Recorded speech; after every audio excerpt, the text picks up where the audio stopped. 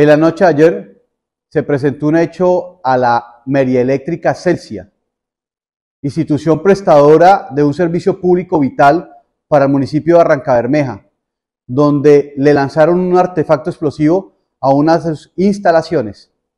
Gracias a Dios, sin producir ningún efecto sobre la vida humana de quienes protegen esas instalaciones. Desde la Policía Nacional negamos rotundamente y rechazamos todas las actuaciones de terrorismo a estas instalaciones donde solamente prestan su servicio a la comunidad y donde se vieran afectados dejarían de presentar su servicio a la comunidad. Estos elementos y estas evidencias serán objetos de investigación para dar prontamente con los resultados de las personas que cometieron estos hechos terroristas.